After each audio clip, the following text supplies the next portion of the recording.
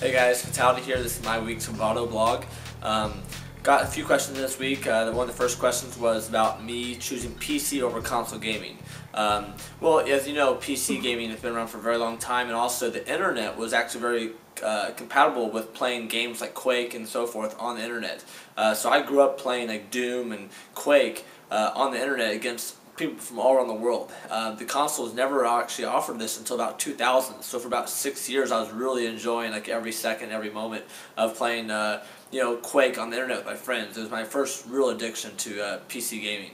And then, uh, you know, as for uh, the other question that came in was about modifying my console. Um, well, the biggest thing I would want to do with modifying my console would be, you know, basically having it so I can use a mouse and keyboard. I would love to play the first-person shooters with all the people that play on the internet today, playing Call of Duty and so forth. So um, that's probably why I still really much enjoy the PCs because there's a lot more freedom on the PC where you can actually do a lot more things and you're actually able to modify a PC to the fullest extent. It's almost like the world of freedom, where in the sense you can build your computer however you want, you can use whatever equipment you want, and uh, and be yourself. You know, you don't have to use what is only given to you.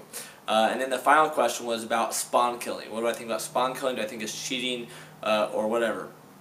Actually, I personally love spawn killing. Spawn killing is like the coolest thing you can do in the world. Uh, that's when you get to the really the highest level of gaming, where in the sense someone can actually use sound to actually know where his opponent is spawning at, and knowing he's behind you or, below you or above you, and actually responding to like one sound you hear, you hear, you're like, oh, he's right there. I have to go this way, I have to go that way, and I'm gonna get him every time. So the spawn killing is a great tactic, where in the sense like a professional gamers they use everything they can is given to them.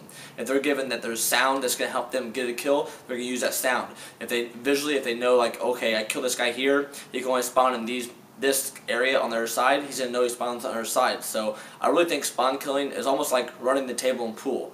And uh, I just love it. I think it's great. I think we should definitely have it in the games.